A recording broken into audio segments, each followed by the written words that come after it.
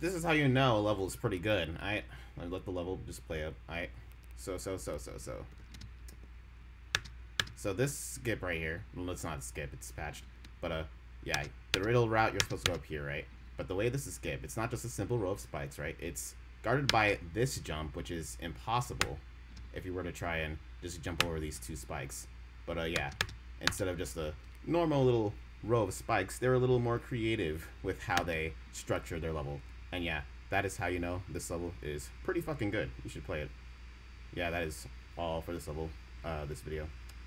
Play this level, it's pretty good, in my humble opinion.